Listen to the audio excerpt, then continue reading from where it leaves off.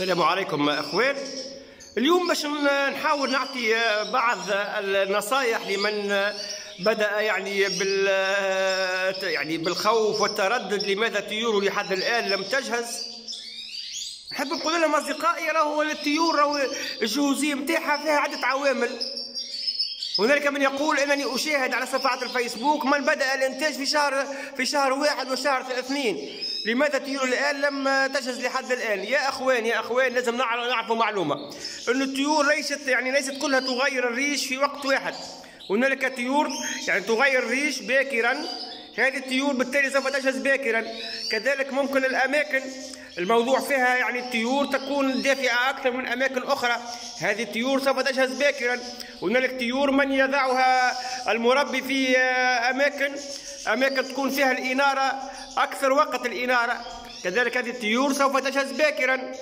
يعني آه، هنالك من يقدم فيتامينات كثيرة جدا للتجهيز يعني في الوقت آه، في الوقت الغير يعني يعني الوقت جوزية سوف تجهز ولكن يعني آه، ممكن تجهز ولكن أصدقائي هنالك مذار اذا الطيور عجلنا في تجهيزها. هنالك مذار يكون البيض غير مخصب أخوان. حاولوا تتريثوا الوقت طويل جدا.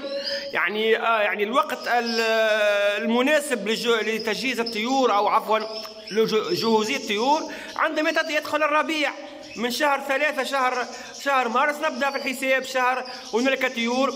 وقتها شهر ثلاثة أربعة خمسة. عادي جدا. عادي أصدقائي. لا داعي للعجلة يا أخوان. تريثوا ولا يعني تشاهدون الأخوان اللي أنجوا باكر يقولوا يقولوا نحن لماذا لم لم نلتجس طيورنا. خلوا خلوا ما دام طيوركم في صحة جيدة. ما شاء الله. يعني وحتى المنقار ماشي وياخذ يعني بيان الأمور طبيعية وجيدة جدا. ما ثماش يعني إشكاليات تاع إنتاج إن شاء الله. أهم شيء حافظوا على صحة طيوركم يا أخوان. أهم شيء. العجلة الزايدة في التجهيز أنا ما ننصحش به لازم لو تربيه الطيور تحتاج منا إلى الصبر ثم الصبر. يعني آه، الفايدة في حتى لو كان يجيك معش فقط يعني الطيور تكون متأخرة. تنجح في إنتاج عش والله العظيم صدقني يكفي. يكفي. فايدة في نقول إحنا بالتونسي العجلة تدور. يعني الأمور سوف يعني تمشي بطبيعتها. أهم شيء كما نعاود لكم عدم التعجل وإن شاء الله طيور تكون في صحة جيدة بالتالي سوف تنتج. أنا تو هنا داخلين على شهر ثلاثة مثلا هذه الطيور اللي حصلوني عندي شهر ثلاثة. أنا أول شهر أول يعني شوف طيوري ما شاء الله جاهزة.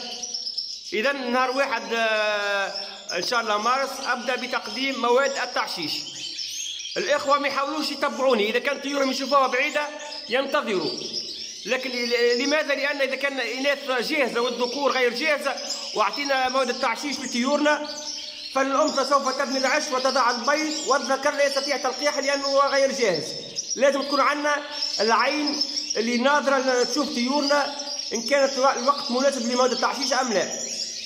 هيا تحيات عماد العرفاوي والسلام عليكم.